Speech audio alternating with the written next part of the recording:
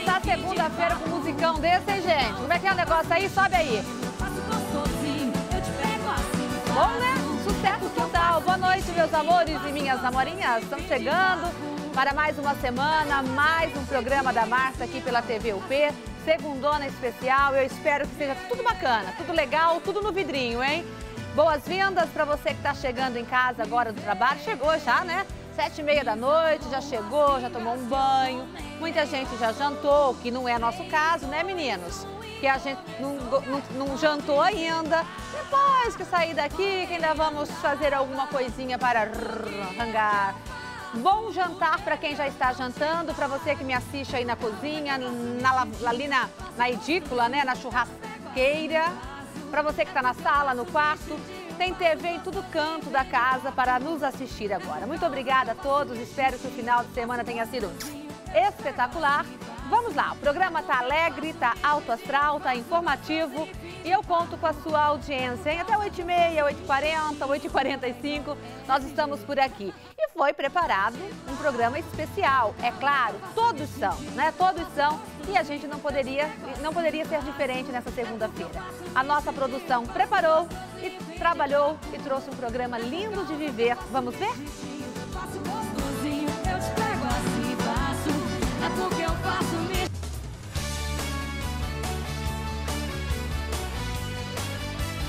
Para começar bem a semana, tem as curiosidades dos famosos. Vamos conhecer quem são os astros e estrelas da TV que já foram atletas. Está imperdível.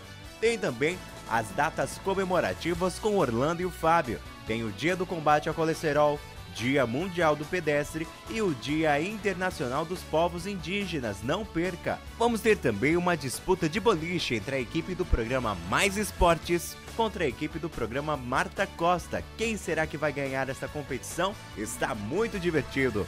Temos uma matéria falando sobre uma ideia inovadora em Umuarama, brechó para bebês. E como no próximo domingo é comemorado o Dia dos Pais, vamos ter o quadro O Fuxico, onde aprenderemos a fazer uma lembrancinha muito bonita para que essa data não passe em branco. Viu quanta coisa boa temos para o programa de hoje? Então não saia daí, porque o programa Marta Costa está no ar.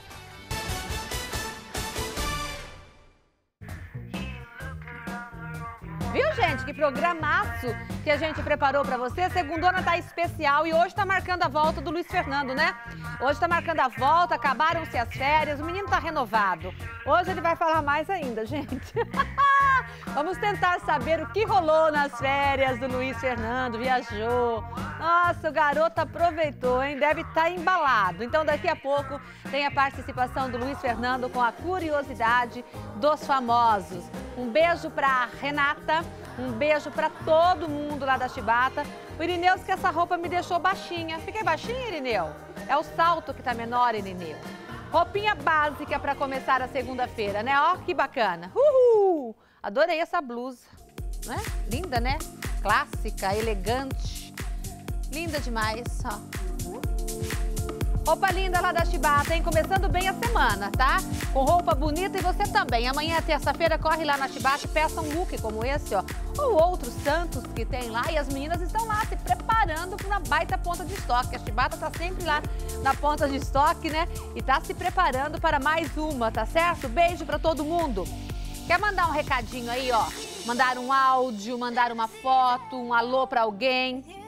Quer que a gente divulgue alguma coisa aí do seu bairro? A gente divulga com maior alegria. A festa que acontece no seu bairro, na escola, na sua paróquia. Nós temos a maior alegria, mas a gente tem que saber da festa. Manda pra gente através do WhatsApp, ó, 8847 9895. 8847 9895 é o nosso WhatsApp, você pode usar e abusar dele, tá? Estamos aguardando aqui o seu recadinho. Gente, olha só, uma vez nós fomos lá no Espaço Torres, num duelo, né? Eu não lembro lá, foi a Marta e a Denise, isso mesmo, foi a Marta Costa e a Denise. A gente foi convidada para um duelo nossa, foi tenso, foi maravilhoso, foi uma das maiores experiências que eu vivi na minha vida. Eu me desafiei, eu, né? E dessa vez convidar a equipe do programa da Marta, a equipe do Mais Esporte, está cutucando, né? Só que não foi lá no Espaço Torres, não. O programa Mais Esportes convidou a equipe do programa da Marta Costa. Eu não pude ir no dia, mas eu ia também. Aliás, eu acho que seria tudo muito diferente se eu estivesse lá, mas tudo bem, né? O programa Mais Esportes convidou a equipe do programa da Marta Costa para participar de uma competição de boliche. Nós vamos conferir. Oi? Lá no Helmas? Um beijo para todo mundo aí do Helmas, tá? Então nós vamos conferir agora a primeira parte dessa matéria, a primeira parte desse desafio. Vamos ver como se saiu a equipe do programa Marta Costa neste desafio.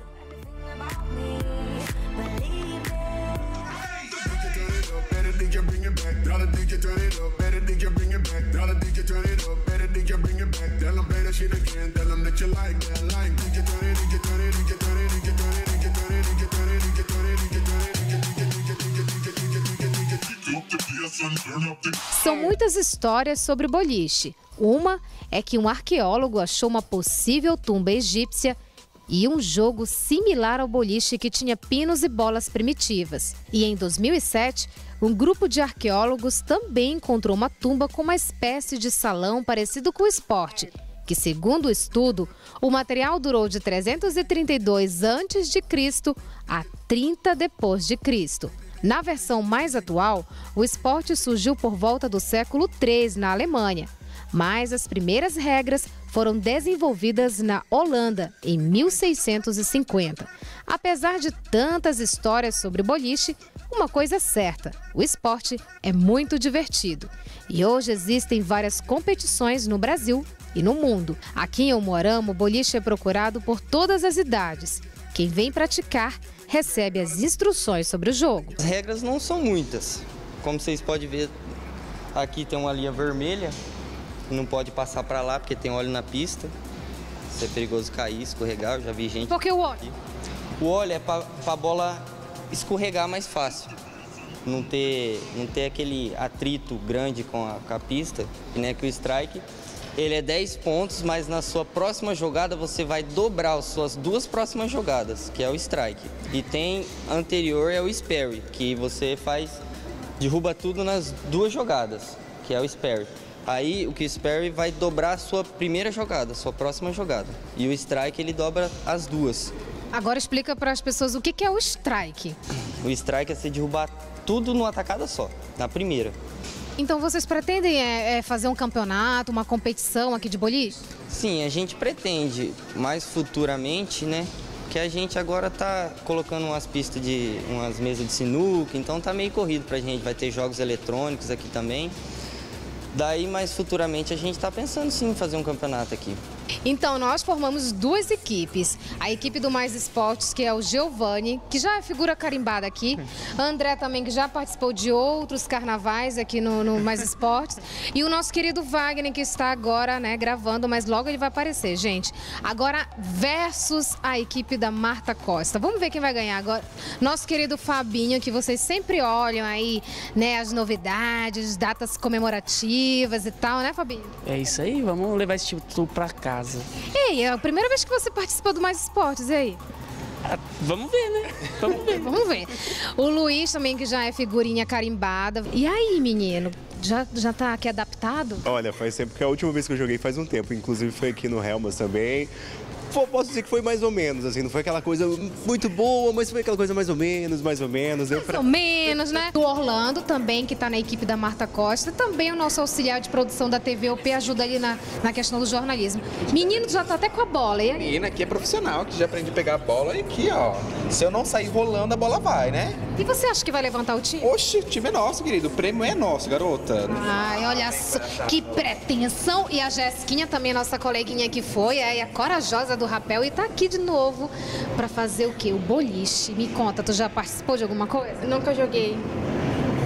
Olha, então a gente tem uma fraca nesse time? Vamos, olha a nossa estratégia. Mas peraí que eu vou conversar aqui com a minha equipe. Equipe, Olha, vocês vão querer ganhar no Mais Esporte, que a gente aqui é carimbado. Mais Esporte. É mais esporte, né? Já vem da geração mais esporte. Tudo treinado aqui, qualificado e eu acredito que vai ganhar daquela equipe ali. E o André, o André, olha, por isso que eu trouxe o André, porque o André. O Ulisses era pra estar aqui, o nosso editor, mas infelizmente ele não pôde. Aí veio o André, que também é o editor da Marta Costa, mas ele vai representar o Mais Esporte, não é isso, André? Porque já participou outras vezes também. É, participei no, no, num vídeo aí, no, no, no programa aí que, né, ficou meio feio pra mim, né? Ah, primeiro foi o rapel, que você morreu de medo, mas teve o outro, que a nossa equipe ganhou, menino. Tu lembra lá, que era o negócio do, do paintball? Ah, verdade, ó, inclusive tá no YouTube, né? E foi muito legal a matéria do, do paintball, a gente ganhou, porque a nossa equipe, né? Olha, então por isso que eu puxei. E o Wagner é bom também, o que tá gravando aí, o que você tá vendo, ó. Wagner, né? Então vamos nessa, vamos ver quem que vai ganhar. Claro que eu também já tô me preparando aqui. Vamos lá então, vamos lá, gente. Olha aí, gente, nessa primeira parte da matéria, então, mais para saber as regras do jogo, né? Mas daqui a pouco o bicho vai pegar, hein? Quem será que levou a melhor nesse desafio? A equipe do programa da Marta ou a equipe do Mais Esporte? Como diz a dona do, do né? Mais Esporte. Daqui a pouco a gente vê então a segunda parte dessa matéria e o resultado desse desafio. E hoje nós vamos. Ela existe. Gente, ela existe. Pode, se der uma música de muito suspense aí. Gente, até eu já não estava acreditando mais que a mulher que o Luiz Fernando falava existe. Sabe aquela história de fui no mercado, Marta, e tinha uma pessoa lá que diz que assiste a gente todo dia, que me adora, Marta. Cadê a mulher? Como é que é o nome? Ah, esqueci o nome. Outro dia eu trago o nome. Certo? Tá, mas ele ficava com vergonha de falar que ele nunca perguntou o nome da moça. Tá, passava mais uns programas, mas Marta, não encontrei de novo a moça no mercado? Esse cara tá com história. Esse cara tá com história. Tá me, como é que é? Me gambelando, engambelando, né? Passava mais uns dias de novo, Luiz Fernando com a história da moça do mercado, que dizia que assistia a gente todos os dias. Gente, mordia a língua. E a mulher existe. E a gente vai mostrar ela no programa de hoje. Suspense no ar, porque hoje a gente revela o mistério. Quem é a mulher do supermercado que sempre abordou o Luiz Fernando e ele nunca perguntou o nome? O porquê dele nunca ter perguntado o nome para essa mulher? O que acontecia com Luiz Fernando na hora que ele olhava para ela? E qual o motivo dele nunca revelar o nome da nossa telespectadora, a mais fiel de todas elas? Porque se ele for no mercado agora, 7h40 da noite, 8 horas da noite, ele vai encontrar a mulher. Hoje a gente revela então aqui no programa, a gente traz, né, gente, brincadeiras à parte. Desta vez ele encontrou a mulher e ele gravou a mulher e a gente vai mostrar pra vocês daqui a pouco, tá? Aguenta aí. Ai, que coisa boa, hein? Tá aparecendo aqueles programas policiais, né? Vocês vão ver aqui. Põe na tela. Aqui, corta pra mim. Ai, que programa delícia, gente. Adoro tudo isso. Muito amor envolvido, né? Já eu volto.